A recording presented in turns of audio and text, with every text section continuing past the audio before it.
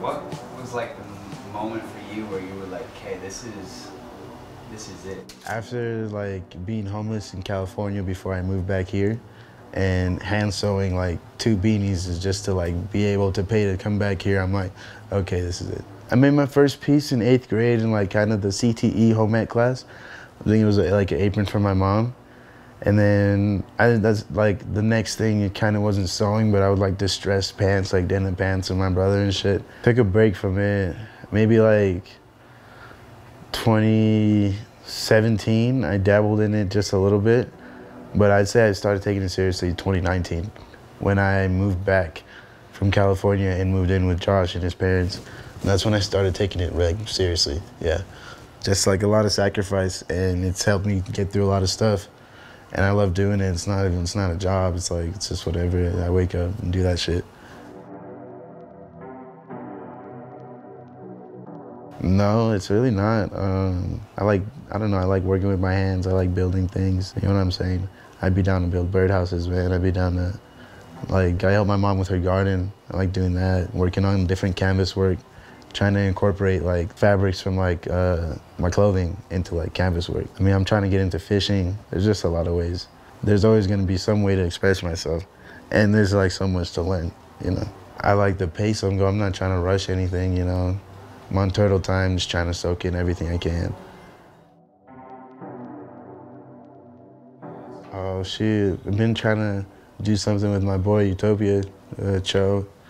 Just really busy guy, but that'd be super dope.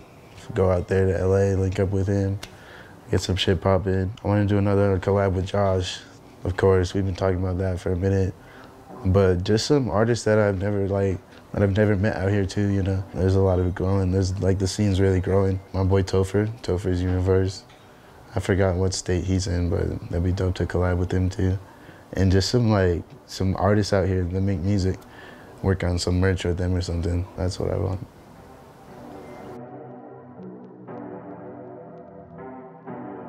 I think the first collab that I did with Josh and Mario, like the three of us, that one's like really dear. But there's just so many. Like that one, that one was a big one. Cause it's pointless to just hold that knowledge in. You know what I'm saying? You're not gonna be doing that same thing for a long time. Someone else is gonna take over. You're gonna learn more, want to move forward, and go on to other ventures. So why like gatekeep or whatever? Like everyone's allowed to like have to like learn, bro, and just gain knowledge. So I feel like it's kind of weird, like if someone's asking you, like the most simple thing, like, oh, yo, I saw you did this, I've been getting into it. You got any tips or like, you got any words to say about this? And like, where in your right mind is it? Do you just like, oh, no, bro, you should just Google it. Like, just YouTube it. Like, that's pretty fucked to me. So I don't know. It's not much thought behind it. Just like do it, you know? just just help yeah just do your part and help each other help each other like move forward like move up we're all just trying to do better for ourselves and like people we care about so it's just pretty simple learn about me through my art or like you know what i'm saying just pay attention like different different pieces like carry different feelings but yeah i'm coming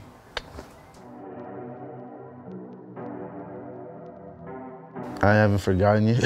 yeah, still like the same, you know, just like a kid. Like, oh, there's my PSP right there.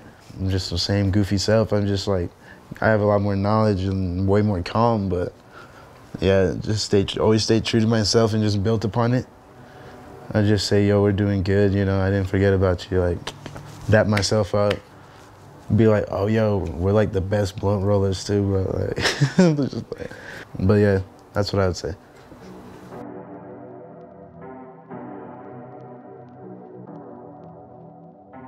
Shout out to Noah. You know what I'm saying? Yeah, it's a good mobile machine. Go crazy. Made this backpack with that machine. So yeah, good little Boro backpack. Well, it's not that little, but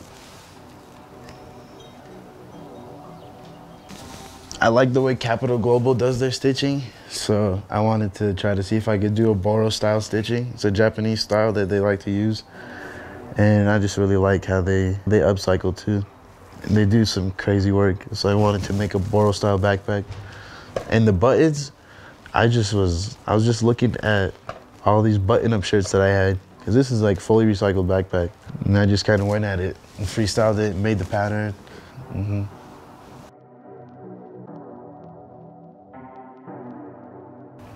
No, so my boy Utopia, the one that I said I want to like go collab with out there, he made a saddlebag. So I was like, you know, I'm gonna see if I can make a saddlebag. So I tried to make my own pattern, and I like doing it. And I dropped a little collection of them with uh, they they spelled out Akouya within like three bags. So it was like A K O U Y A, and I don't know, they're fun to make. So I added it to like little arsenal.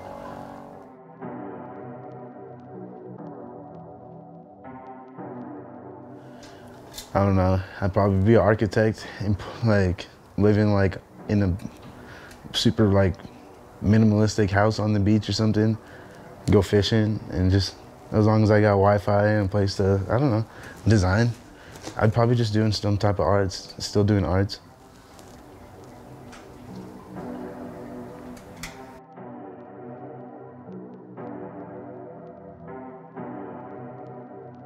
I don't know, just different patterns I see. I'll just like out and about. I don't know, me and my older brothers like uh, share like opinions on clothes too. I like like I like Japanese fashion too. I just like have crazy dreams too. Just try to like create what I saw. But that yeah, that's where it comes from. What kind of dreams? Yeah, pick one. Bro, like I'm in the future and like Star Wars is fucking real. But I'm like Boba Fett, but I have super cool ass pants, like super cool drip. Because everyone else, like if I was a droid, I'd just have like plastic. Like the most I could do is change the color of my plastic suit. But I got like some crazy ass cargos on, bro. And I'm like, fuck, what do those cargos look like? I just remember part of it. Then I try to just make it.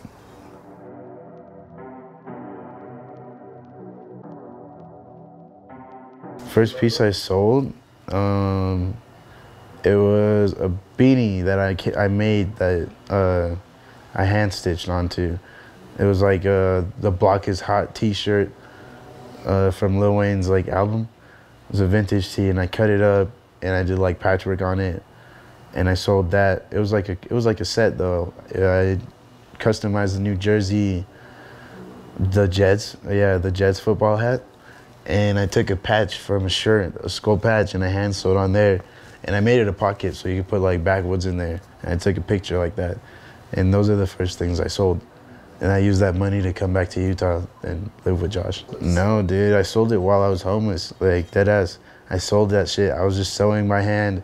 I sold it to like some fucking, like, just kids on the street, like around my age. And I just made my way to LA, took a FlixBus, came over here. And Josh picked me up from the fucking Greyhound station. And we just fucking been going stupid. Took forever though, bro. It took like fucking 18 hours to get over here. Like I stopped by Vegas because that's when we had like a little break, and then we had a break like four hours out. But I kept on posting my like my screenshot on the maps and shit, and posted on my story like, oh shit, I'm coming back. Like it's been like a year, almost a year. It was pretty cool, man. I just ate a bunch of food along the way, and just smoked weed along the way. I brought some weed on the train. Yeah.